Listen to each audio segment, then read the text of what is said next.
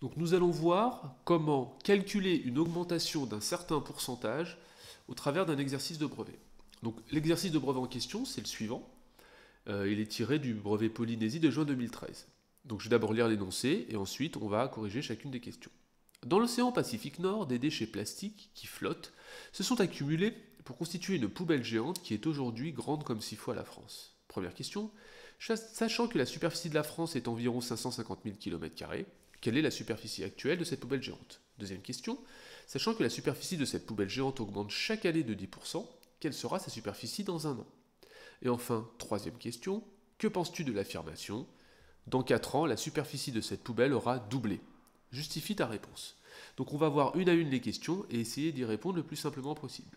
Donc la première question, on nous donne la superficie de la France, ici environ 550 000 km, et on nous demande de trouver la superficie de la poubelle géante. Donc pour ça, on va utiliser une donnée de l'énoncé. Donc dans l'énoncé, on nous dit que la poubelle géante, elle a une superficie grande comme 6 fois celle de la France.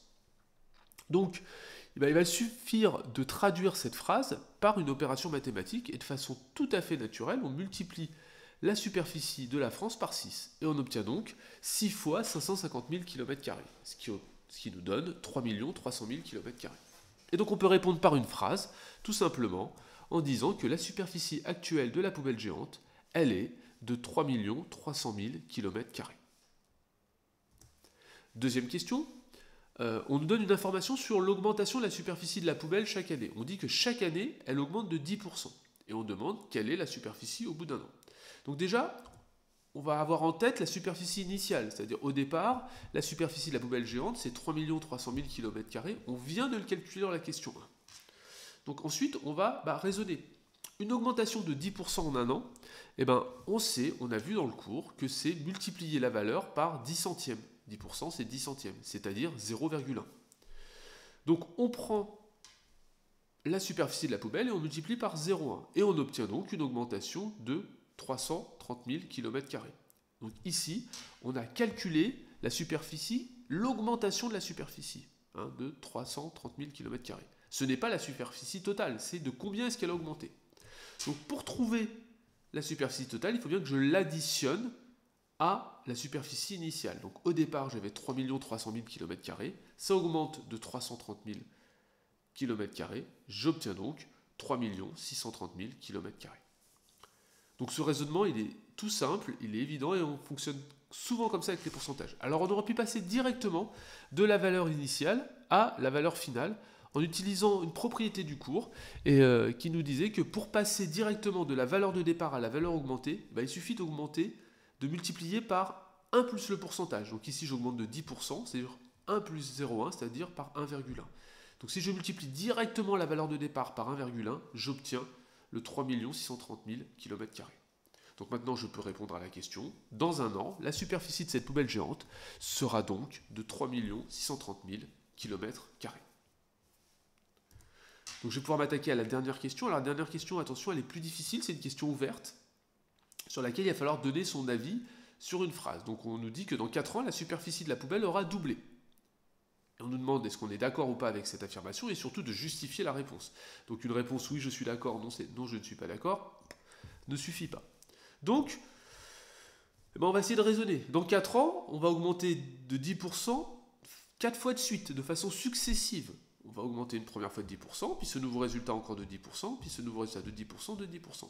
On a vu que pour passer d'une superficie initiale à la superficie augmentée de 10%, il suffit de multiplier par 1,1. Donc en fait, on va multiplier la première valeur par 1,1, puis ce nouveau résultat par 1,1, et cela 4 fois de suite. Donc on va obtenir, pour trouver la superficie au bout de 4 ans, on va prendre la superficie initiale, 3 300 000 km, et on va multiplier par 1,1, puis encore par 1,1, puis encore par 1,1, puis encore par 1,1. Hein, c'est-à-dire 1,1 puissance 4. Donc je vais calculer ce 1,1 fois 1,1 fois 1,1 fois 1,1. Et donc, j'obtiens que ma surface initiale, 3 300 000 km, eh ben, elle est multipliée par 1,4641. Et là, je n'ai pas besoin de faire ce calcul. Je pourrais le faire et puis euh, répondre à la question, mais je vais regarder euh, cette opération. Euh, si jamais je dois doubler, il faut que je multiplie par 2 ma superficie. D'accord? Doubler, c'est multiplier par 2. Ici, je vois que je ne multiplie pas par 2 et je suis assez loin de multiplier par 2. Hein, je multiplie par un peu moins d'1,5. Donc, je peux affirmer que ma superficie n'a pas doublé. Si elle avait doublé, j'aurais multiplié par 2. Et donc, je peux dire qu'au bout de 4 ans, la, la superficie n'a pas doublé. Elle a augmenté d'environ la moitié. J'ai multiplié par 1,5. Donc, j'ai à peu près rajouté la moitié. Donc ça, c'est quelque chose d'important. Et surtout, le point de vigilance à avoir, c'était de ne surtout pas dire que 4 augmentations successives, c'est une augmentation de 40%. Ça, c'est faux.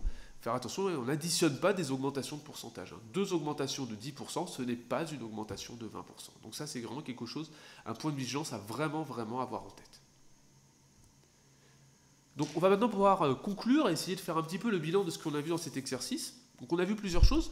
La première chose, on a vu que pour, déterminer une augmentation, et c'est vrai aussi pour une baisse d'un pourcentage donné, eh bien, il suffit de multiplier la valeur par ce pourcentage. Donc une augmentation de 10%, eh ben, je multiplie la valeur par 10%. Et 10%, c'est 10 centièmes, c'est 0,1. Pour trouver la nouvelle valeur, une fois que la hausse a été faite, et pareil, c'est exactement la même chose avec une baisse, eh ben, on ajoute la valeur de départ à l'augmentation. Donc on prend l'augmentation qu'on ajoute à la valeur initiale et on obtient la nouvelle valeur une fois qu'elle a été augmentée. Pour trouver cette nouvelle valeur, on aurait pu directement le faire par un seul calcul, par une multiplication, parce qu'on a une propriété du cours qui nous dit que pour, euh, quand on augmente d'un certain pourcentage, ben, il suffit de multiplier la valeur initiale par 1 plus le pourcentage. Et c'est exactement pareil pour une diminution, sauf qu'on va multiplier par 1 moins le pourcentage. Et enfin, il y a un point de vigilance à avoir qui est très très important. Il ne faut surtout pas additionner ou soustraire des pourcentages lorsqu'il y a des, augmentations ou des diminutions successives. Hein. Ça ne marche pas, l'addition ou l'augmentation de pourcentage. Donc voilà, si tu veux voir d'autres vidéos, que ce soit sur le brevet ou que ce soit sur euh, des points de cours, n'hésite pas à t'abonner à ma chaîne YouTube. Et par ailleurs, si tu veux retrouver l'ensemble euh, des vidéos qui portent sur des exercices de brevet, ou en tout cas sur la préparation au brevet, eh ben, tu peux accéder à la playlist euh, qui est présente ici.